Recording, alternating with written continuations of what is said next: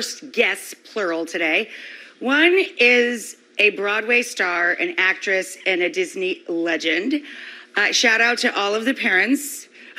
Many of them work behind the scenes here who have watched Elsa and Frozen like a ba- bajillion times. I know, calm it down. Uh, everybody knows, of course, who we're talking about now, but she's bringing a new song to life with her first children's book that she actually co wrote with her sister, Cara, who is also here. It's called Loud Mouse. Oh, so uh, please welcome the authors of Loud Mouse, Idina Menzel, and listen, and her sister, Cara Mentzel. We'll talk about that.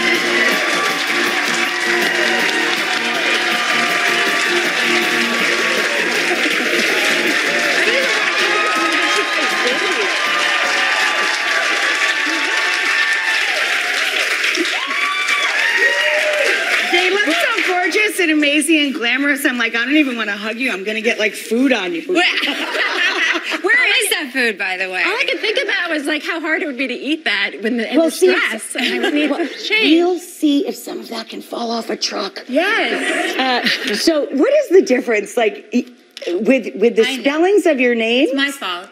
Because when I was younger, for some reason, when I was looking for a stage name, I thought Menzel would be pronounced easier than, Oh, than the T. Plus, it was people would say mensal, like mental and pencil. Oh, people I school. And so then when we had this book, I said, Cara, just make your name Cara Menzel. And she was like, No.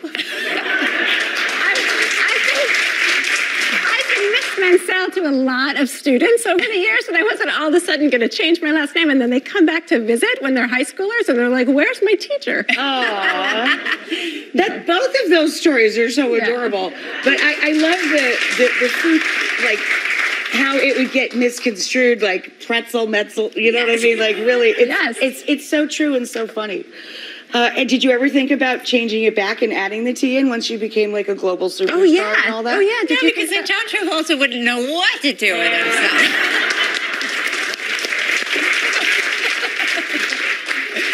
So uh, it- I have a, a sister I'm very close to. Hi, Maria. We call her just Ria. Hi, Ree. Maria and I are together a lot, all the time.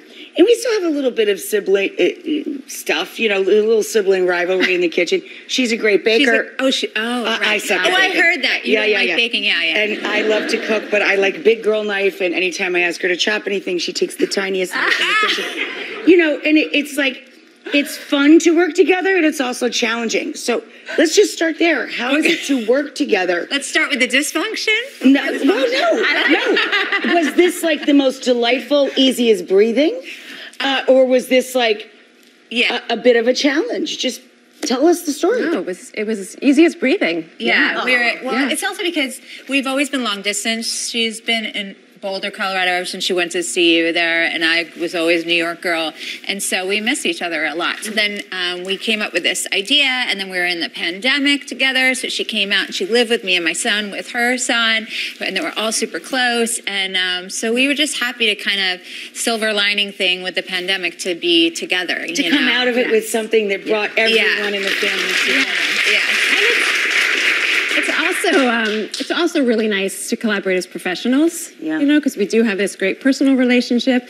But like for me to be like, oh, look at these things I can do as a teacher, or look at these things I can do as a writer. Well, also, it's kind of what the book is about. I mean, I took up a lot of space as a little girl. I had this voice. Um, I wasn't always sure when it was okay to call attention to myself and share my gift, you know, and when um, people might scrutinize me or, you know, sort of dealing with that vulnerability and taking risks. And it also was the annoying big sister that, that, oh. Oh, oh God. and I just just got chills. That's not even my family. That's so adorable. So I don't mean to speak for her, but I always do. Um, but it's just like she was. Oh my god. Um, but yeah, she. Um, you know, it's it's it's abnormal for a little seven year old girl to say, "I know what I want to do with my life." Most people, you know, search a little bit longer to figure out what their path Right. is going to be. So that's actually the sequel, Proud Mouse. But um, yeah, and then I was going to say, are you guys going to turn this into now that you've had such a special experience collaborating together. Is the plan larger? Well, we did feel like there were two stories. We felt like um, this story was relatable, but also the other side of it the, the little Right. sister trying to figure out okay, I don't have one thing that I excel at Right. that stands out that I'm from the time I'm five saying this is who I want to be. It is. Um, it is a two part. A lot of people can't relate to that. Um, and talk about collaboration. Um, the thing is, like, all the focus about me being, you know, in the spotlight or whatever. But I really learned that my sister, when she was a TA in college, I came and I sat in the back and I learned like what an amazing teacher she could be. Then she became that one of the greatest teachers.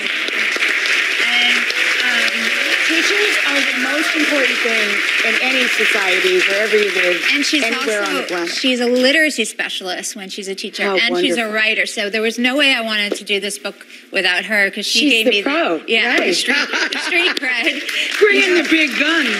You know, I recently on Instagram, um, one of my students who's now become a teacher, you know, I saw a oh, comment Oh, of hers. oh. I know, I was like, almost going to cry. And she was like, I am so buying this book. Miss Mentzel was the best teacher I ever had. And oh I was like, Oh. and that's and that's when I found that I, heard my sister's voice. I mean, she actually has a really beautiful singing voice too. That's for another show. That'll take up a whole thing. But um, There's a song attached to the book too, no? oh yeah, thank you for asking. Yeah, Yeah. because We tell them so about the refrain. Okay, well, in part we have a refrain because when in a children's book, it gives other children access. So not everybody can read all the words, or not everybody can remember. So the fact that um, there's a refrain, people, children can feel like they're reading just because they have repetition. you know? Right, right, right, right, And then in addition to that, you know, it's also highly engaging to have that repeated part come about. And then, you know, of course, why wouldn't we have a song? It's, um, I mean, It's Ina's book. that So, every but- child in the world loves. You know what I mean? So I have Someone that can bring the entire planet's children together Yes. with music. Oh, thank you, and also annoy every parent forever.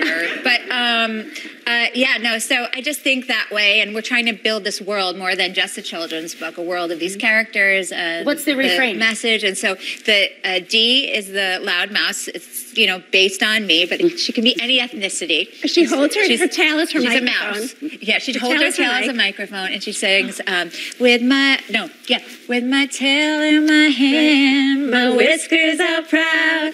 I sing it big, I sing it la la la la la la